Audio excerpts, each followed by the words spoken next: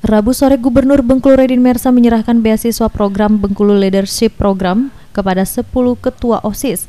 10 penerima beasiswa ini telah mengikuti rangkaian seleksi di Dinas Dikbud Provinsi dan kampus tujuan.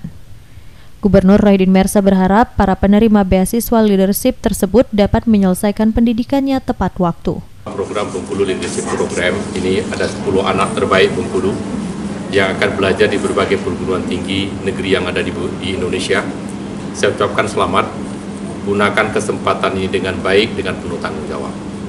Bagaimana bentuknya? Belajar secara akademik, cari prestasi tertinggi.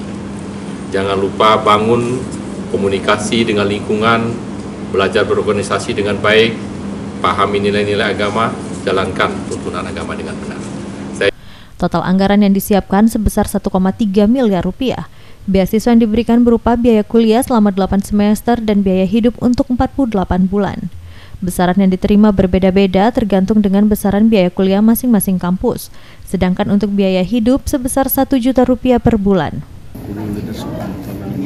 harapan kami ke depan itu sama apa yang disampaikan oleh Pak Gubernur. Semua siswa ini berhasil, teman tepat waktu, prestasinya bagus. Dengan berbagai macam jurusan yang nantinya mereka ini bisa tamat tepat waktu itu harapan kami. Nah kemudian terkait dengan pembiayaan, ini pembiayaan kami sudah mempersiapkan. Ini Salah seorang penerima beasiswa leadership program adalah Sintia Anugrah Ananda yang berasal dari keluarga petani.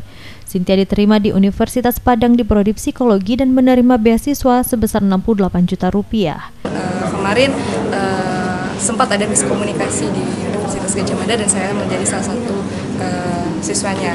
Dan saat ini saya sudah dialihkan ke Universitas Negeri Padang dengan jurusan psikologi.